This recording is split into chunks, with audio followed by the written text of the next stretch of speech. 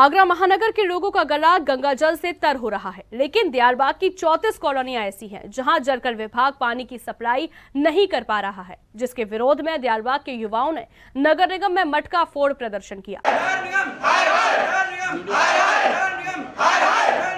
नगर निगम में मटका फूट नारेबाजी कर रहे ये युवा दयालबाग के बाशिंदे हैं, जिनका गंगाजल उपलब्ध कराने की मांग को लेकर पिछले पाँच साल से प्रदर्शन चल रहा है। आगरा से लखनऊ तक पदयात्रा कर सीएम को भी अपनी वेदना ये बता चुके हैं, ऐसा कोई अधिकारी नहीं है जिसके दर पर इन्होंने माथा नहीं टेका हो, लेकिन इनकी मांग अभी तक पूरी नहीं हुई है। दयालबाग क्षेत्र की चौंतीस कॉलोनियों के गंगा की मांग पिछले पाँच साल से लगातार उठा रहा हूँ।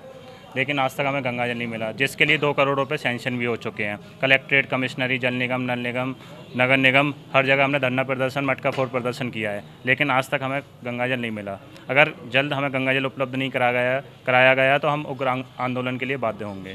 पता नहीं अधिकारी क्यों नहीं करना चाह रहे जल निगम के और जल संस्थान के, जबकि मैं अभी पिछले दिनों आगरा से लखनऊ पैदल भी गया था, माननीय मुख्यमंत्री जी से मिला। उनके द्वारा भी आश्वासन दिया गया। और गंगा जल ये क्यों नहीं दे रहे? इसका पता नहीं, दो करोड़ रुपए सेंशन भी हो चुके हैं नगर निगम के द्वारा। अपनी युवा टीम के साथ पिछले पाँच साल से गंगाजल दयालबाग इलाके में लाने की मांग कर रहे सौरभ चौधरी के लिए कौन सा अधिकारी भागीरथ बनकर गंगाजल से इस इलाके की प्यास बुझाएगा? क्या मुख्यमंत्री इस इलाके के लोगों की वेदना को समझेंगे या स्थानीय स्तर पर कोई भागीरथ निकलकर सामने आएगा? ये तो वक्त ही बताएगा। लेकिन गर्मियों की शुरुआत हो चुकी है। ऐसे में दयालबाग के वासिंदों की प्यास कैसे बुझेगी? ये अभी भी एक यक्ष प्रश्न बना हुआ है। Vijay Baghel, C news, Agra.